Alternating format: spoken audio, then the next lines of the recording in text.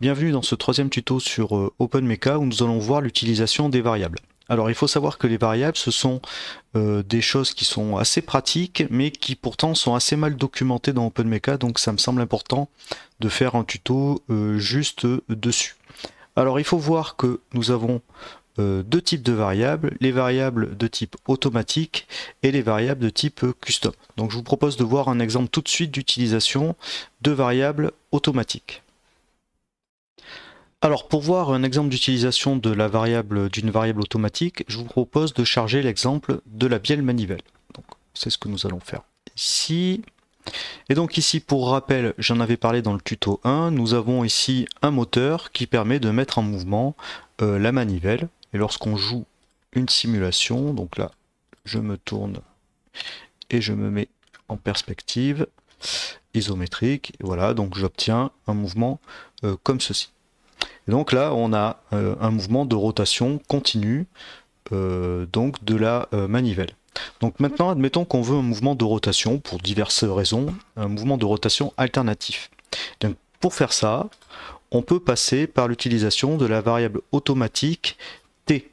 Et cette variable-là symbolise simplement le temps qui s'écoule au cours de la simulation. Et on va voir tout de suite comment on peut s'en servir. Donc ici, je reviens dans la définition de mon moteur. Voilà, je fais un clic droit, j'édite, et euh, à cet endroit-là, on peut donner une vitesse angulaire. Alors là, il y a une remarque très très importante à faire. Vous voyez, il y a un petit signe égal ici. Et lorsque dans OpenMecha, il y a un petit signe égal, cela veut dire que euh, vous pouvez utiliser des variables, et donc des expressions symboliques. Et donc là, on va utiliser l'expression symbolique suivante, on va dire qu'on ne veut plus une valeur fixe de 1 radian par seconde, mais une valeur qui va dépendre du temps, et on peut rentrer, euh, voilà, sinus de t. Donc dans ce cas-là, maintenant, on va voir ce que ça donne. Donc, je fais une simulation. Et donc là, vous voyez, on a bien à faire maintenant un mouvement de rotation qui n'est plus continu, mais qui devient euh, alternatif, puisque évidemment, euh, la vitesse dépend maintenant du temps avec une fonction euh, sinusoïdale. Donc voilà une première utilisation des variables automatiques. Alors dans OpenMecha, il n'y en a qu'une seule, hein. c'est la variable t. Donc maintenant, on va voir l'utilisation de variables custom. Alors pour voir l'exemple de variable custom, je vous propose de reprendre euh, le tuto précédent, à savoir le pendule. Donc ici voilà notre pendule, euh, on peut le faire tourner. Ah, tiens, là vous voyez, euh, je viens de m'apercevoir qu'il y a un petit problème. Là vous voyez votre pendule disparaît. Alors ça, quand ça arrive, ça veut dire que votre le rayon de la scène est trop petit. Euh, donc pour modifier ce rayon de la scène, euh, bah, ça tombe bien, on va voir ça. Donc vous pouvez aller dans Système, clic droit sur Scène, Éditer. Et donc ici, vous avez euh, voilà, différentes choses. D'ailleurs, vous pouvez changer la couleur de fond, vous pouvez faire un certain nombre de, choses.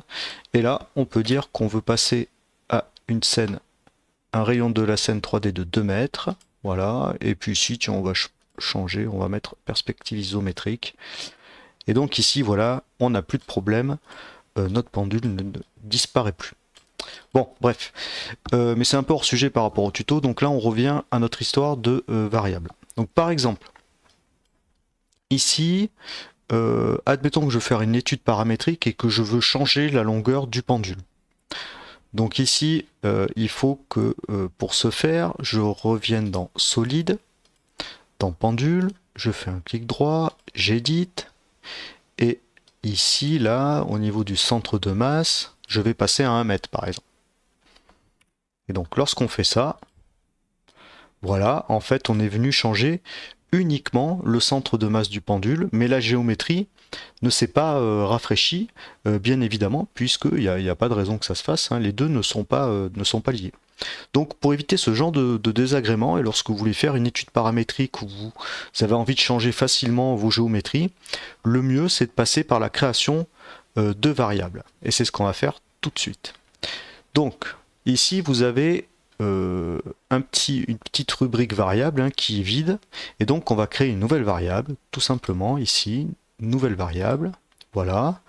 je vais appeler cette variable grand L et je vais lui donner comme valeur de départ, euh, je sais pas, euh, on va dire 1 mètre.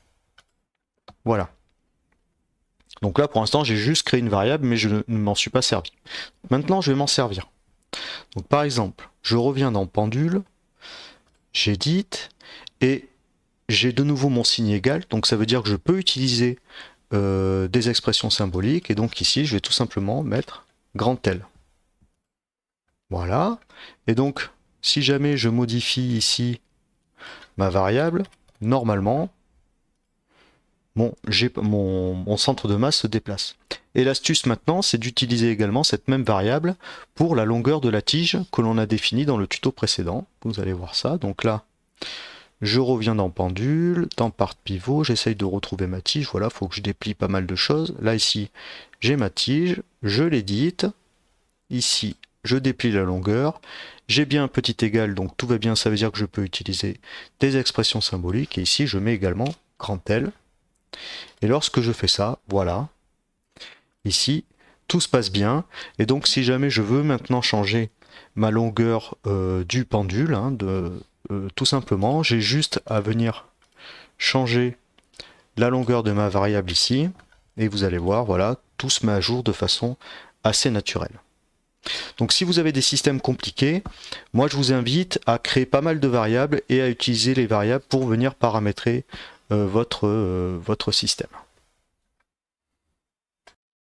Donc pour terminer sur les variables, hein, je vous propose de voir un exemple un peu plus avancé, qui est l'exemple de la bielle manivelle et qui implémente également euh, des variables. Alors ici, voilà, donc je retrouve mon exemple de la bielle manivelle, et ici j'ai deux variables, grand R et grand B. Grand R correspond au rayon de la manivelle et grand B correspond à la longueur de la bielle. Donc par exemple ici, si je viens changer euh, le rayon de ma bielle, voilà, je passe de 50 cm à 1 mètre. Donc ici, voilà. Donc normalement, hop, vous voyez, euh, l'ensemble de mon euh, schéma s'est déplacé.